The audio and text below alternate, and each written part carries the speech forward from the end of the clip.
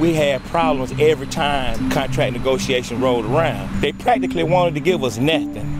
Nothing from it was gonna be no different from the from the previous contracts, you know, just a, a extra half percent. And we like, nah. This company makes billions of dollars, and we're out here working to help this company.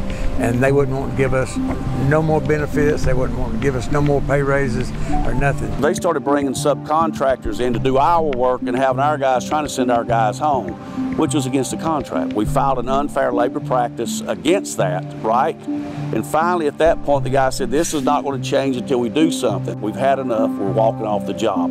Two contracts ago, last contract, we give up for them because they was hurt. Economy was down. Hey, we brought that up to them. They don't care. They say you can't live in the past. We're gonna have to do what we have to do.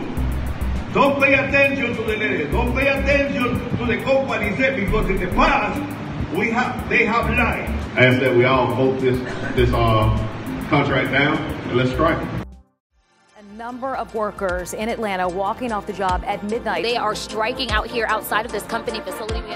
Without respect, man, as a man, how can you get anything done?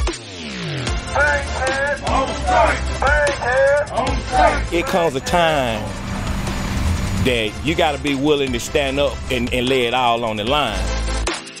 When you got 90 people showing up to walk together, you got strength you got strength. 90 people can make something happen.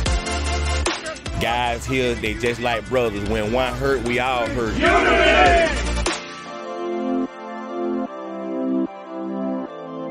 This company was glad to have us back because they know we can do the job. Hard working man, all you want is respect.